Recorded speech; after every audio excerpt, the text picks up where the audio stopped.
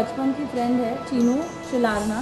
और इनफैक्ट मेरे पहले पिक्चर के शूटिंग में इन्होंने भी ना तुम जानो ना हमने मेरी बेस्ट फ्रेंड का रोल प्ले किया था। तो आज यू नो उसके बाद हम साथ में आज शूटिंग कर रहे हैं फ़ूड फ़ूड के लिए। तो ज़रूर ये शादी के बाद मैंने खाना बनाना सीखा।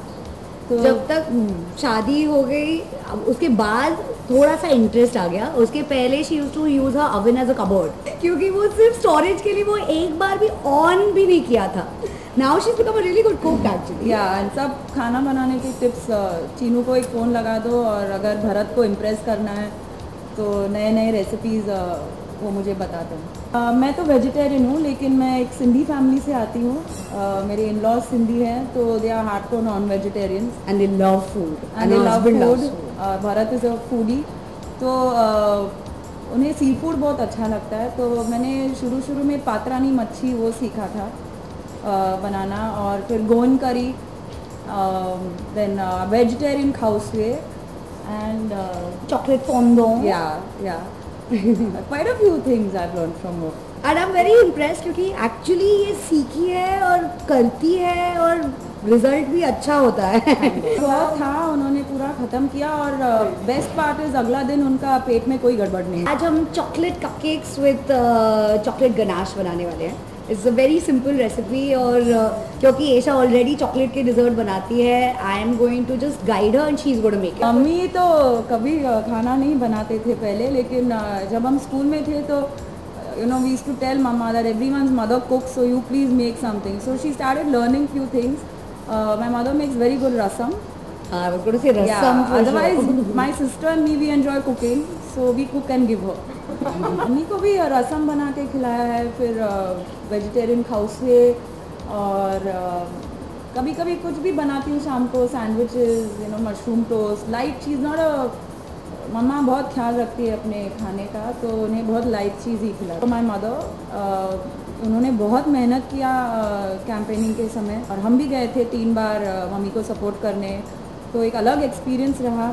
गांव-गांव में गए हम और and result was very good क्योंकि उनका जीत भी एक बड़ा मार्जिन से हुआ।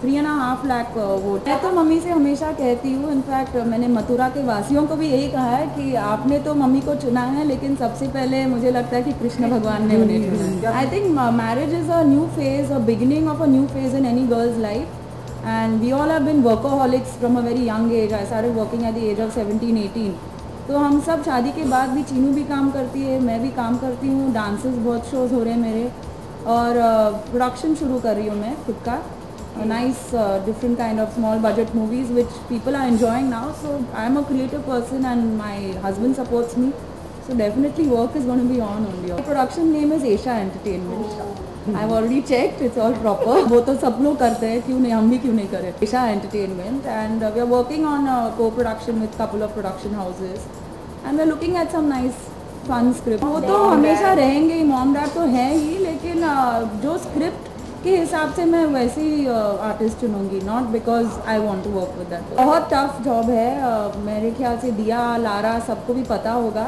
क्योंकि हम हमेशा कैमरा के सामने रहे हैं और अब हमें प्रोड्यूसर के रोल प्ले करके यू नो बहुत सारे चीज़ें हैं डिफ़िकल्टीज़ है फ़िल्म बनाने में।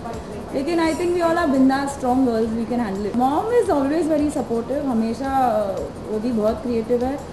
अभी मम्मी आना मैं दोनों सेटल हो गए तो अभी उनको थोड़ा और फ्रीडम है लेकिन I always believe the saying that daughters and never leave the mothers mom अभी मम्मी खुद ही हाँ, गए हैं तो उनको एंजॉय करने दो उनका एक्सपीरियंस कैसा होता है वो हिसाब से मैं डिसाइड करूँगी।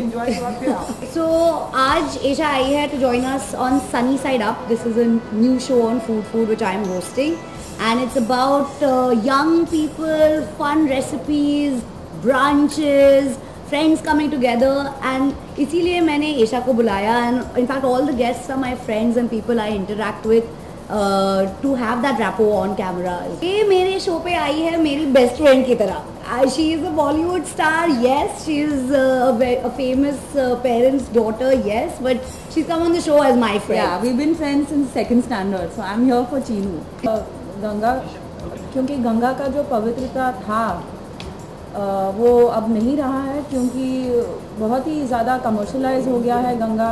इनफैक्ट हम भी गए हैं कुंभ के मेले में जो शाही स्नान सब होते हैं। ये तो बीजेपी आई है बहुत अच्छी बात है। I am sure Modi ji Ganga को क्लेंस करने के लिए बहुत कुछ करेंगे। और हम भी अपने तरफ़ से मेरी माँ आहना और मैं हमने एनवायरनमेंट के लिए एक बैले भी क्रिएट किया है जो हमने शोज़ भी किए हैं about it's called Ganga.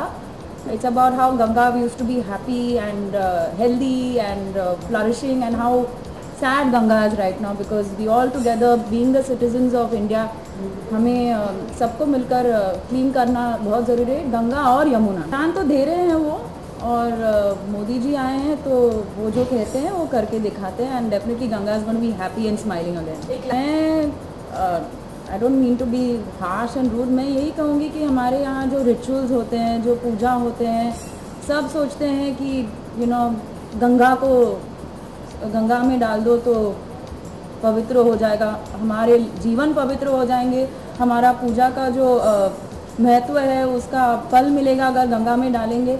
वो पहली बात है जो मैं रुकाना चाहूँगी क्योंकि नॉट इवन गंगा हमारे जूहू बीच सी में भी गणपति विसर्जन हो या दुर्गा विसर्जन हो रिलीजन अलग बात है लेकिन उसका मतलब नहीं है कि हमारा एनवायरनमेंट को पल्यूट करे। नहीं गंगा को बचाने के इस मुहिम में ख़त्म तो नहीं हो रही है, क्योंकि रीमेक्स तो बनते रहेंगे।